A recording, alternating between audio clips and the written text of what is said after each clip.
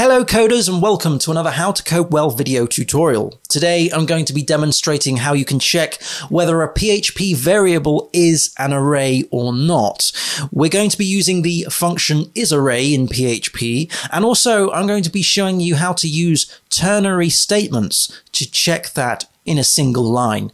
Okay, so let's get into the code. Let's say, for example, we have a variable of person, and this is actually going to be a string. So let's say we have person here, and let's say we have the string of Peter Fisher like so.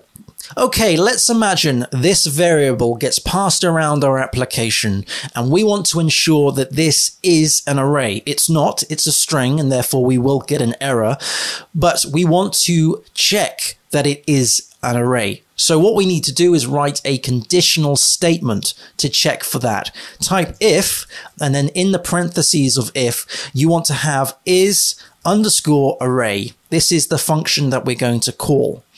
Pass in the variable that we want to check. In this case, it's person.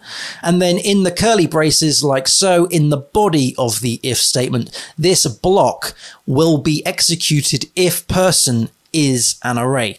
So what we can do is just print this is an array.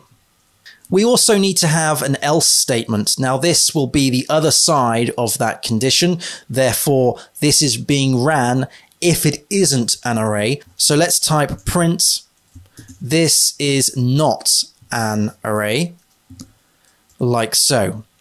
Okay, so this is a string, it's not an array, therefore this should be printed here. Let's go and save this, go into the browser and load this page up. This code, by the way, is in the How to Code Well Code School GitHub repository, links in the show notes below.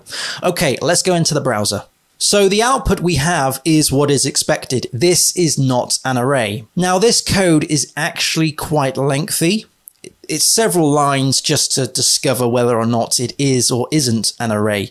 What we can do is we can use ternary statements as a means of simplifying this condition on one single line. Let's go ahead and do that now. So what we're going to do is simplify this logic here. So what we're doing is we're saying is array passing in the variable and whether this is true or false, we print out a particular statement. So what we're going to do is do all of this, but on a single line. So this is how you do that. So on line, say line nine, let's type print, and then within the parentheses, type the function is array. So this is the function call that we used up here. Pass in the variable that we want to check, which is person. Now what we need to do is have a question mark. We also want to have a colon like so.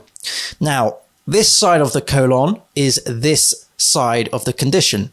This side of the colon is this side of the condition. So this is going to be executed when it's true, and this is going to be executed when it's false. So let's go and copy the print statements. Let's copy that, paste that into here.